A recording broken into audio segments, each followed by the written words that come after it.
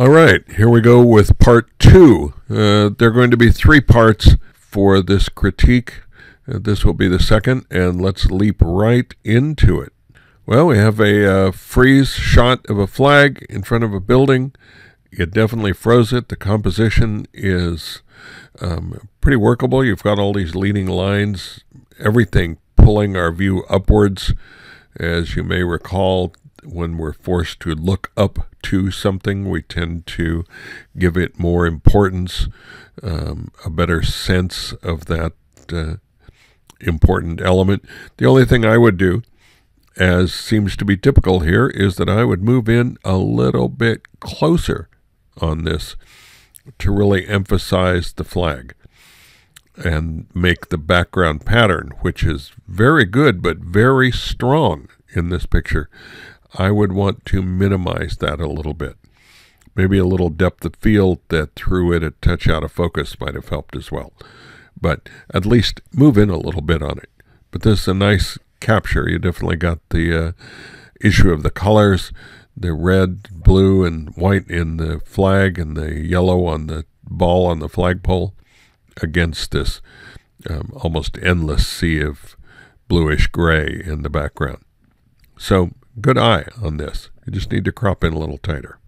Now we have a uh, dog running free. This is a nice um, attempt at panning with it. You really got a sense of the action. Everything is moving. A very slightly sped up shutter speed might have gotten his head sharp.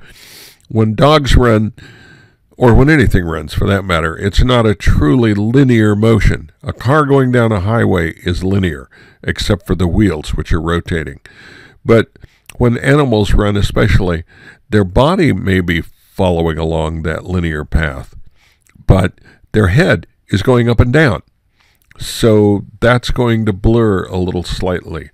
So if you're going to be doing some shots like this, experiment a bit with different shutter speeds and see if you like the results um, a little better. See if they tell your story a little better.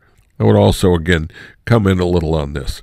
I know that when things are moving and you're not really sure you're going to capture exactly what you want, then you give it a little extra room. You give it a little editing room around it. That that's fine. Sometimes you have to do that, particularly in sports or action photography. But for the final, go ahead and crop into that part of the picture that really works. Make the final work for you. Now we have a skateboarder coming down a uh, road from somewhere. You can see by his expression he's really concentrating. The sun flare is is almost cliched perfect in this shot. It's uh, it's really a nice capture of this particular image. You did a good job. Again, I would pull in a little bit tighter. You've got an extremely strong motion, both with his stare and the implied motion of the skateboarder going toward the right side of the screen. That's perfect.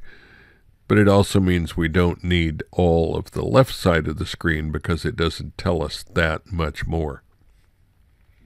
What's interesting is, did this guy behind him just crash and burn? Is he sitting on the ground? Um, or exactly what's happening is almost a distraction because of the strange pose of it. So be aware of those. It'd be really easy to take out. You could uh, remove that in Photoshop if you wanted to. Wow, caught this guy right in the air. That's a very nice catch. It has the same issue that many of these motion shots have when things are moving fast, you're just trying to keep the shot in the viewfinder. I understand that. But once it's there, particularly if you're shooting with one of the newer cameras that has a higher resolution, it's nice if you can keep all of the pixels because you've got better resolution when you do that for a final print. But if you can't, you've got the room to crop. If this is going on a website or it's going in a uh, sports magazine, you can afford to lose some of that resolution and make this a better composed shot. So I would move in and catch this part here so that he is really emphasized. The shot isn't about the sand, it's about the biker. So move in on it. But this is a very nice catch. Did a good job on this. Well, this is a fascinating blur, uh, essentially more of a double exposure than a blur, but it starts to work um, in this case, kind of a Janus figure, the two two-headed um, Greek god that became the symbol for um, entertainment and movies and plays and things like that, where you had both the the smiling part and the frying or uh, the smiling or frowning part. But this is an interesting shot. Nice concept. You did a really good job on it. I'd get rid of a little of this black on both sides. Here's your shot, is right in here. That's what you want to concentrate on. So remember, find where the shot is, and then anything else in the picture, anything that isn't really helping that, get rid of it. Make the viewer look at what you want them to look at. Don't give them any options if you can avoid it. Well, this is a really interesting motion catch. It almost looks like this guy has just punched this guy and is literally hit him hard enough to take him into the air. They appear to be on the same team, so I'm guessing that's not what happened. And what did just happen is that these guys have just won. But it is an interesting moment in time. Sometimes those happen and they can be really misleading. They're frozen in time. You don't know the whole action. And it can lead to a conclusion that may not be accurate that's a problem that people out on the streets face all of the time. It was one of the reasons for resistance to a lot of body cameras for police, is that sometimes, depending on the angle, depending on a lot of the variables that happen, that image may be accurate optically, but it's not accurate in terms of interpreting the action. So, and this is a good example of that. Really looks like this guy just punched him out. But that's it's a very good catch. Definitely froze the motion. Good job. Nice keyboard shot. The hands playing. Why, you can almost hear the music coming out of this. What kind of music is this? Um, can you make a guess? I'm assuming that you, the photographer, knows what was playing, but for us who don't know, what likely is coming out of this? Is it classical? Is it a ragtime piece? Is it a hymn? What what's really being played here?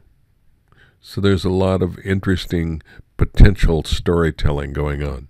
I don't know what's creating these red highlights, but they're a little distracting. So I would get rid of those and maybe darken this part down a little bit and bring these keys in a little. Some very subtle, quiet touches to this because the shot is here. The hands on the keys. The rest of this is just supporting data that you may or may not decide you need all of it. Now we have a an interesting shot of someone uh, digging up uh, this tree or the roots around it, I guess. They're going to pull this tree out. Um, and this, I'm assuming, is probably a saw that's cutting off some of the heavy roots. It's a good catch, but it's also one that, even though it's frozen, we don't know that it's frozen. If, in fact, he's sawing and there's motion there and you froze it, that's one story. The other is that he's just positioning it but hasn't actually pulled a trigger yet, so it really is a still shot. We have no way to know that from this image. This might be one that to tell the story better, we should see a little bit of blur in that saw. So be careful about that. This area, which is where the motion would normally be happening, really has to let us know is that motion or is it just a quiet moment in the action when the motion has stopped and you've captured that? Well, and here's the last one for this set. Again, a rider caught in midair coming over a little sand dune. The catch is good. Remember this with the first one, how the rider was caught in the air and was really clear what was going on? This rider is caught against all of this brush back here, which is really distracting. It's breaking up the detail. It'd almost be better if this were a shallow depth of field along with the freeze. So be careful what's in the background. That can really destroy your shot. From a motion standpoint, it's a good catch. From a depth of field standpoint, it could use some work. It could also use a little compositional work. He's moving in this direction, so I would come in. I don't need all this fence. I'd come in behind it and crop this down a little tighter, down into there.